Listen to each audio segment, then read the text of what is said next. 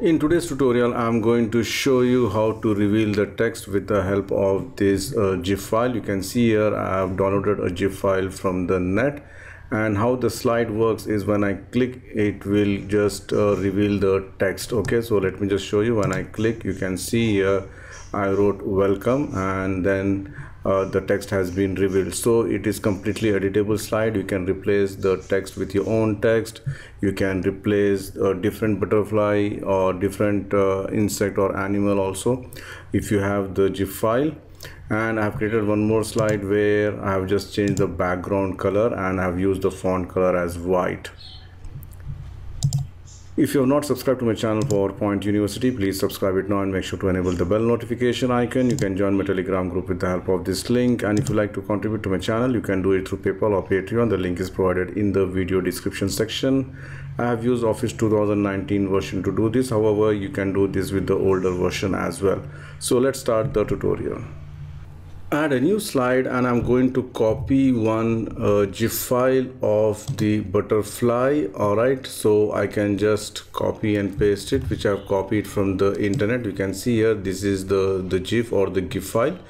Or you can uh, copy any image or different butterfly image also if you want. Then I'm going to add one text. So you can add any text of your choice. So go to the insert text box and I'm going to type welcome all right and then the font i'm going to choose with this which is the hand of sean and then increase the size depending on your requirement. All right so i'm going to keep it something like this and then go to format send this to back. All right now I'm going to place this uh, butterfly here at the starting of the W.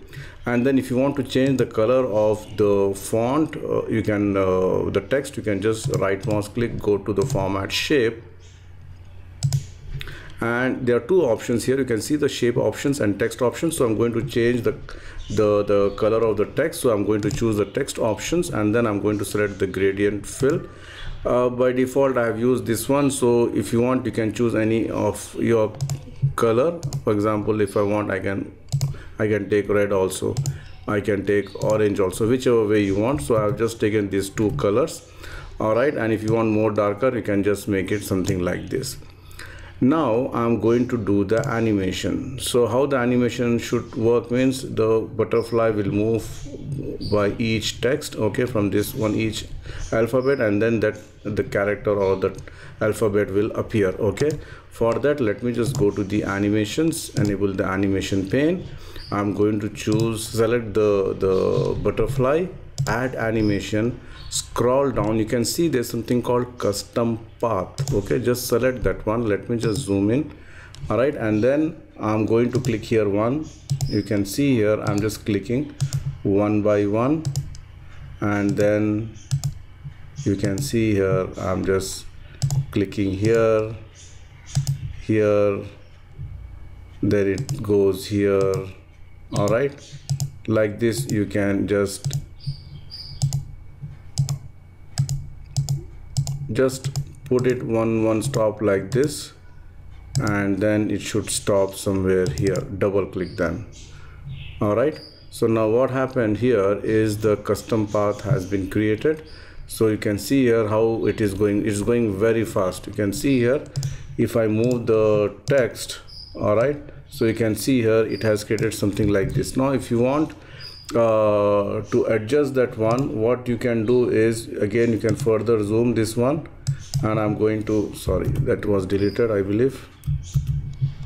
Let me just undo that one yeah.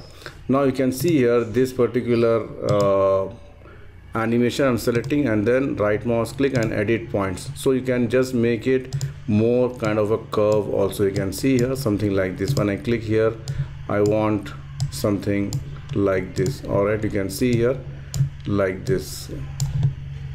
All right so i'm just making one by one. So depending on your requirement you can just adjust it. Or if you don't want to adjust it's up to you also. Not a problem but you know it's better to always adjust that. Okay and then you can see here i'm just doing like this. And if you want to delete something also you can delete also. All right so here it should go like this. All right. And maybe this one I don't need. You can simply delete also this one. You can see here I can delete like this. So if I delete like this then I have to adjust it properly. Alright you can see here I need to spend some time to adjust this one. Alright so like this and then you can adjust this also so one by one you need to spend a little bit of time and then adjust it. All right? So you can see here once the last one.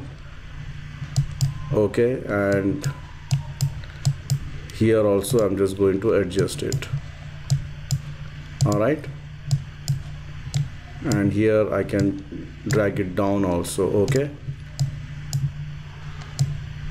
And that's it. Now what happens? Let me just play now so when I click see it is going very fast all right so first of all I have to reduce the size the speed. So smooth and smooth start you reduce it you can go to the timing. Maybe you can make it slow 3 seconds or 4 seconds whatever. So you can see here it is going like this. Now I'm going to choose the text all right so the text I've selected and then for the text I'm going to select the wipe animation. Wipe animation say this should start from left and this should happen with previous all right and then double click this one and the timings you can make it maybe slow. If you want we can make it four seconds also and click ok. So it should go the same speed. So let's see. When I click you can see here it is coming something like this. All right so any text any if you want some different image also you can choose it. Some different uh, insect or animal or uh, plant or anything you can just think of. You can just replace this one and you can do this simple animation effect